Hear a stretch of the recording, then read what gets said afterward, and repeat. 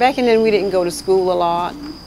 We picked a lot of cotton and stuff. I was a sharecropper's daughter, and we had a big farm.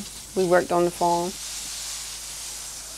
Everybody said I was lazy, but I tried. I tried to pick cotton.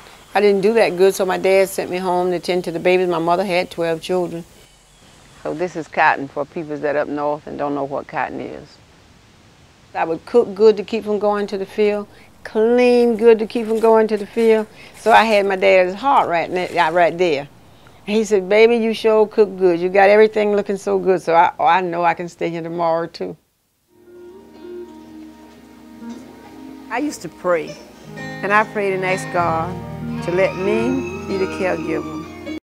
As we say, we want to take this opportunity to allow our visitors to come forth who have testimonies, amen, that will help us have a better understanding and help us be more vigilant, help us to be more mindful of this thing called AIDS, amen, HIV, AIDS. Let's give the Lord some praise.